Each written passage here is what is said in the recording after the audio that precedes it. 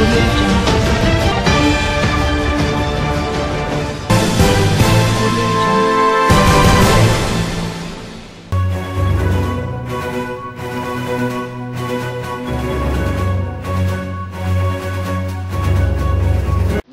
S news में एक बार फिर से आपका स्वागत है। आइए नज़र डालते हैं आज की खबर पर। आज फतेहाबाद के गया सिरापुरा में डॉक्टर भीमराव अंबेडकर जी की प्रतिमा का अनावरण समाजवादी पार्टी के राष्ट्र महासचिव केंद्रीय मंत्री रामजी लाल सुमन ने किया। जिससे मंत्री रामजी लाल सुमन जी ने कहा कि डॉक्टर भीमराव अंबेडकर महान थे, संविधान बनाने वाले, उनके अनेक योगदान को कोई भुला नहीं सकता।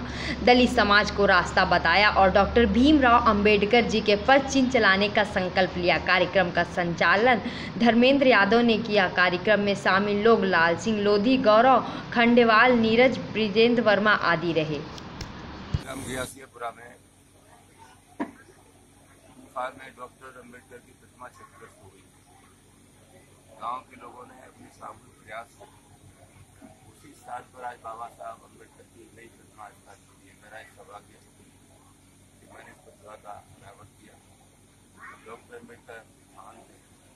भारतीय संविधान के बनाने में उनकी भूमिका को भला कौन नहीं जानता। पंडित जवाहरलाल नेहरू सरकार में कानून मंत्री थे कांग्रेस पार्टी के सदस्य नहीं थे लेकिन को लेकर के उन्हें कानून मंत्री बनाया गया। डॉक्टर अंबेडकर कोई सीधा चुनाव नहीं जीत पाए।